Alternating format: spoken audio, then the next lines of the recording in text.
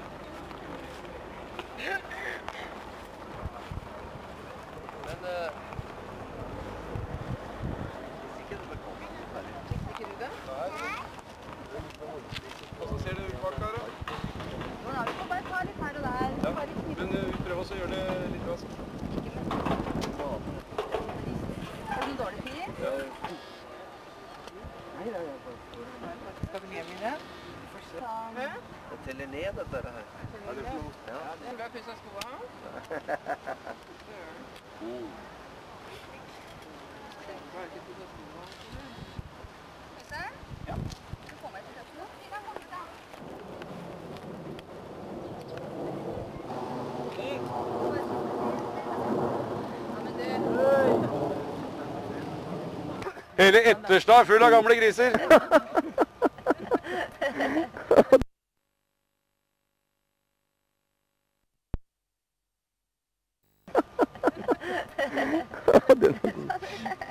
Ja, men kjære venn, dette kan vi- kan vi ikke... Fordi at uh, den ble plutselig fylt opp av uh, årganger. Ja, takk.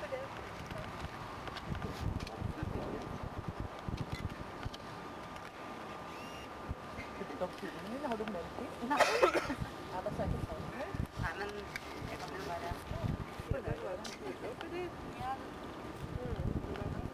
Bergan han er diakon i Grønland menighet. Diakon var, var litt feil, jeg sa da. Hva er du sa for noe? Jeg sa et eller annet på K, er det ikke det? Kapellan. Kapellan, sa jeg. Hva er det da? Han, uh, han, han kappa land i ungdom. Ja. Det er så nære i sikkerhet, så det kan være god. Ja. Kapellan var jeg, diakon var jeg. Der tok vi toget på bryllupsreisen, men eh, vi ble sykla til bryllupet fra bryllupet i jobb. Dere er klare? Du skal få Ja, ser deg etterpå. Vi tar en sånn rask. Vi tar med Leila. Ja, da, vi skal ta med oss så deilig.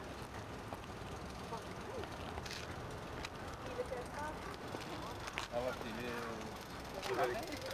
så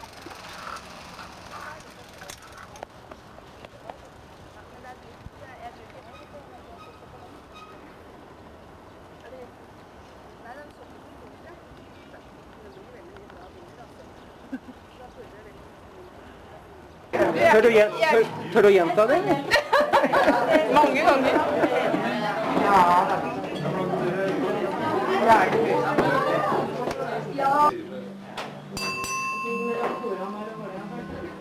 Det var like lett som det var i går.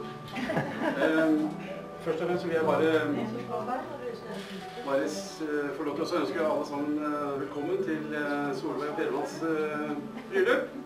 Eh, det er ikke rare greiene, det blir bare enkelt og greit med snitter og sånt til å begynne med.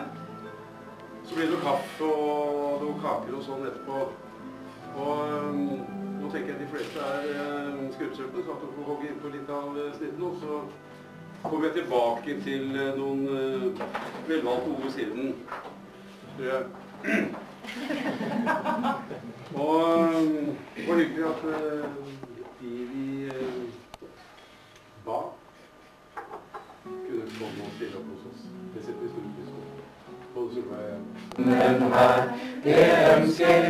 Lite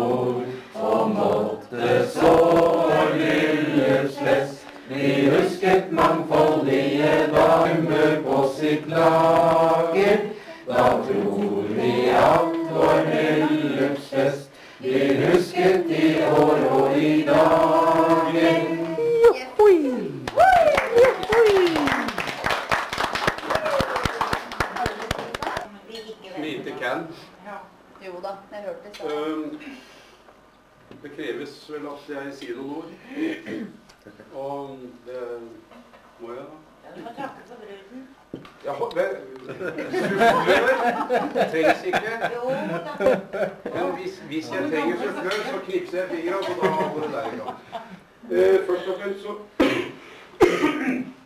vil jeg si eh, eh, Trengs det noen videre presentasjon av de som er rundt bordet nå? Har alle fått eh, innblikk i hvem som er hvem og sånn?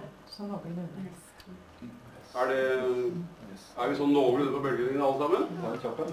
Ta en kjapp en. Man har vært borti de fire som sitter her oppe, kanskje? Så kan vi jo gå videre. Det er Ragnar som hører til um, Lena.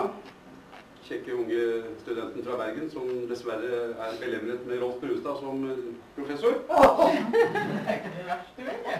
Så, så er det da min eh, noe eldre søster. Veldig lite eldre eldre. Det er ni måneder et kvarter mellom oss. Eh, Alkoholøra, det er Berit. Eh, tilhørende en barndomskamerat av meg som jeg kommer tilbake til. Eh, Hun er eh, professor. Hva er det er nevnte, altså? I eh, eh, akevitt og Altså medisiner, farmasi. Så er det Kjell. En svoger, det også. Bosatt på alle tiders fyr. Bosatt på Nesodden, Fagerstrand. Um, begge er så glad for å ha dere her. Så er det Trygve, da. Bjarni, Gunnar. Alle tiders fyr. Uh, halvveis eh, samboende med mine foreldre. og- Men det kan jo være greit det for en som har foreldre. Jeg er jo foreldreløs. Så det er uh, etterslaget på sin hals. Han er jo den eneste som har uh, familie boende på Etterstad. Så det er jo Eh, egentlig så burde vi løfte et glass for Mali.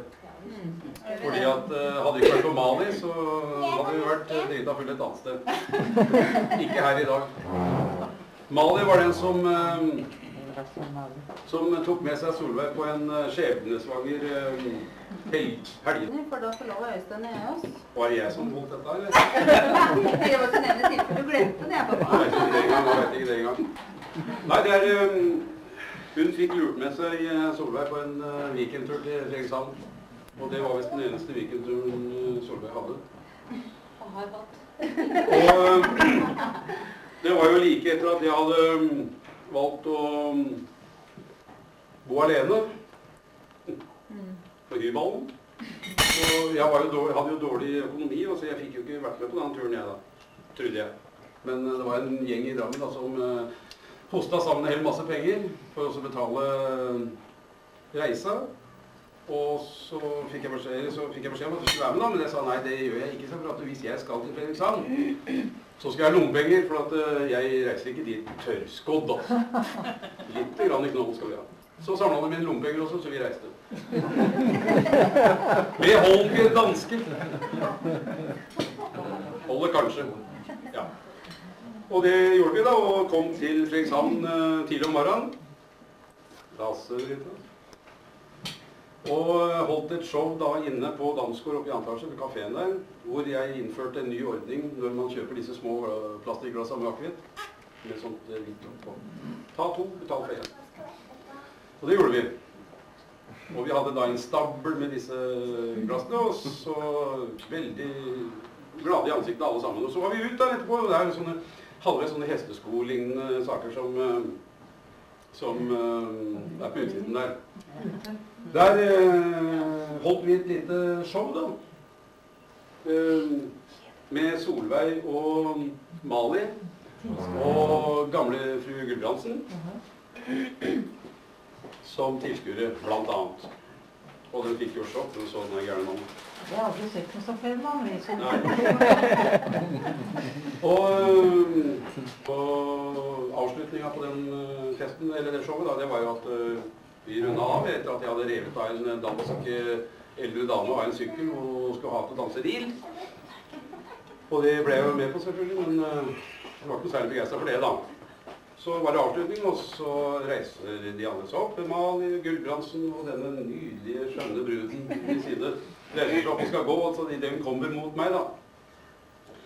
Så oppdager jeg dette skjønne vesenet og river opp T-skjorta og lurer på om hun ville bæse litt i høyet. Hun, eh, hun sa nei takk, jeg venter litt. Og det gjorde hun. Så var det da på hjemmeturen at jeg registrerte henne etter hvert. da. Men ja, det blir så langt dette her, så, så det kan vi ta en annen gang. Det kommer i min neste bok. Så det er uh, Mali. Takk skal du ha. Glimrende utført. Hjertelig takk skal du ha. Det er Malis skål. Øystein. Jeg har ikke vært innom deg. Jo, Jeg var innom deg til å begynne med. jeg. Det var ferdig. Vi skal jo ha det hyggelig, da. Litt eh, min gode fru Haugland. Å, Gud hjelpe meg da. Og det er jo Og det er jo eh, på den måten jeg tar disse to svigermødrene, at eh, det er det eneste jeg har å takke denne bruden, denne bruden for. Så, så det er derfor jeg retter min takk til dere to. Du som har eh, mest. Det er jo du som har forma dette sjøvesenet. vesenet. Og det er du som serverte sølvfat. Mali. Mali serverte henne på et sølvfat til meg. Og det er jeg takknemlig for. Så jeg, eh, jeg får vel kanskje litt problemer med å også si noen ord til eh, Solveig, da, for at eh, I hvert fall i sånt forum som dette. Jeg eh, vanligvis pleier å ikke ha noe problem med å si noe til deg ellers. Men jeg har et dikt som, eh, som jeg har lyst til å tilegne eh, Solveig. Det er en, en god venn av oss som har um, skrevet det.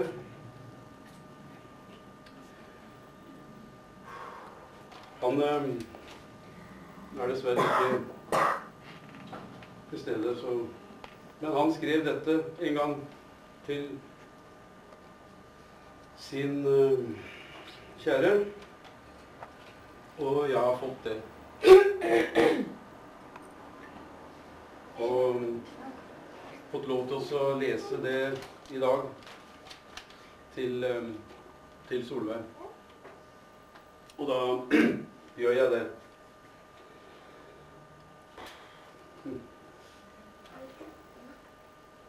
Du endret alt.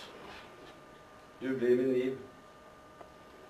Jeg har søkt og funnet den som jeg ba om. Aldri før har jeg i dette liv sett en deilig pike som imot meg kom. Med blomsterprakt, kledd i silkedrakt. Og med kjærlighet i blikket, hun min egen. Du vil for alltid stå meg nær, for jeg elsker deg for alltid. Om det skulle storme dårlig vær, vil mitt hjerte svikte aldri. Du tok min hånd, kalte meg min kjære Per. Solveig, jeg vil elske deg så lenge som jeg lever.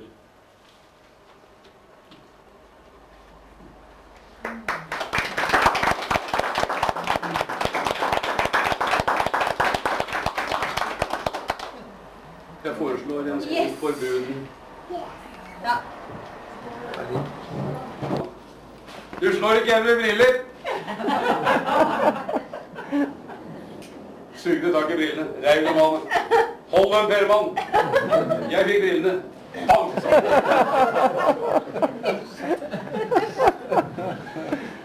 Der lå den. Det var Steinar. Det var Steinar. Ja.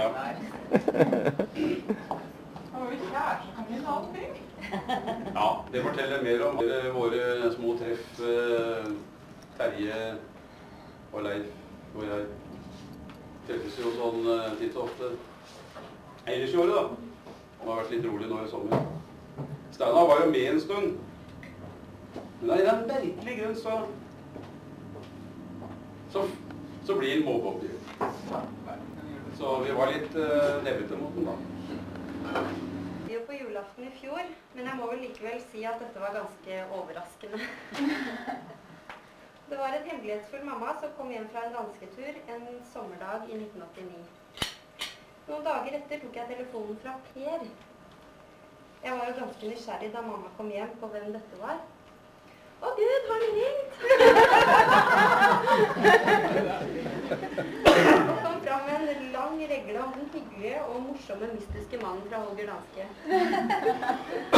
Det tok jo ikke lang tid før jeg også fikk hilse på deg, Per, og jeg forsto jo fort at mamma hadde fått fullstendig pladask.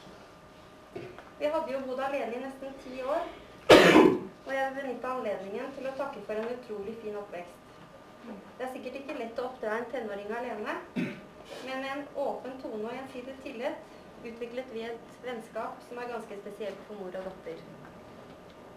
Noen sure miner for at det kom en gubbe i huset. Det var aldri i mine tanker. Jeg unte deg alt godt. Og når jeg så hvordan dere strålte sammen, så var jo det heller ikke så vanskelig. Og stråler, det gjør dere enda.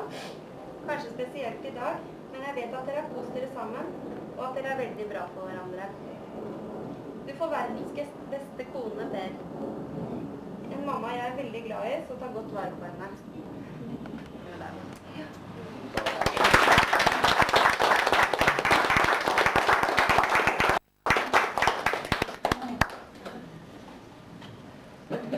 Ser du møre her, så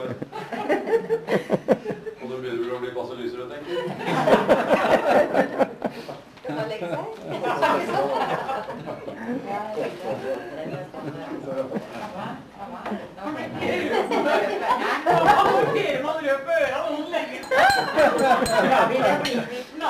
Kina og jeg har rocka sammen en eh, liten sang som synes du om meg, og så har vi alltid hørt pappa har synge.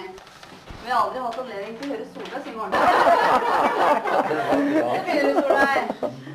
Men kan ikke melodien. Ja, det Ja, det gjør jeg. er det riktig sikkert. Ja, det er det. Kan du ikke hjelpe? Da får du gå bort og hjelpe dem litt, da, Tine. Du går bort og hjelpe dem litt, da. Ja, ja, jeg skal ta det.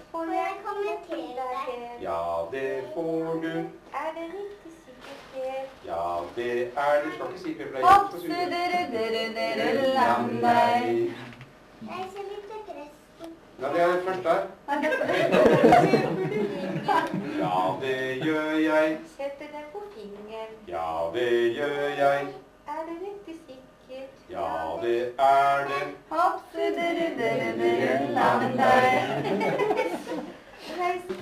Jeg ringte først uh, tinghuset for å få tak i en dommer, men jeg at vi er såpass gamle at vi kan ikke finne på oss å gå i kirka.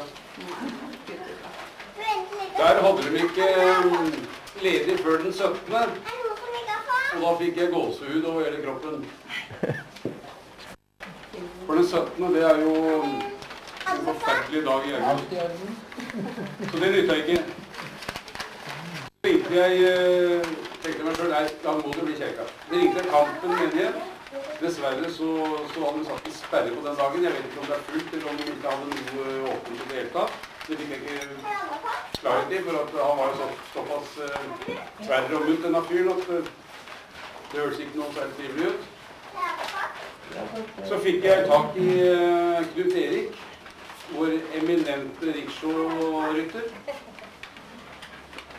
Og spurte om han kunne hjelpe meg litt, og fikk telefonen opp til Grønland menighet. Så ringte jeg dit. Traff på en relativt hyggelig fyr, men det var liksom litt vanskelig, da, for at presten hadde ferie. De har det nå. Og organisten var bortreist, så han kom ikke hjem før langt ut i september. Og øhm, det hørtes veldig vanskelig ut, altså. Så satt jeg der borte på Deichman og glante på veggene. Skal jeg gjøre noe? Ja, det er det du gjør der borte, ja. Det er merkelig med at ikke ringte din meget eldre søster som pleier å gjøre når du har problemer. Ja, men nå tenkte jeg at for en gangs skyld er jeg blitt såpass gammel. Det er jo... 50 år i dag, Ja, ja. må, det, må vi si det, da? Takk, kjære søster. Nei, vi får synge sangen da til dere. Vent litt, Ja, ja. Jeg skal bare komme med det der. Du har det så travelt. Jeg har toget. Nei, vi har. Jeg har fått låne sovestolen. Så, um, så um, tenkte jeg meg sjøl Vålinga. Hørte jeg sa Vålinga? Ja da. Så ringte jeg bort til Vålinga og fikk jeg snakke med Gelius, sognepresten. Og han var jo litt eh, litt uh, avventende. da, Liksom. for, De hadde jo to uh, bryllup allerede. Men da jeg fikk lira ut av meg eh, 50-årsdag og 47-årsdag på 10. august 1990 med forlovelse, greide den ikke. Han greide ikke å stå imot. Også at jeg var konfirmert der borte. Så han sa det var greit. Han skulle ordne det. Halv to. Og så sa de at vi har en ordning i Vålerenga kirke hvor vi lar brudepara spleise på blomstene. Det var jo ikke all verden. Og at utenomsogne barn må ut med 500 kroner. Og da sa jeg at det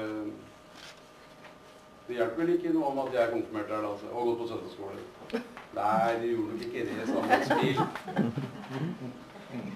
Så ble vi innkalt da.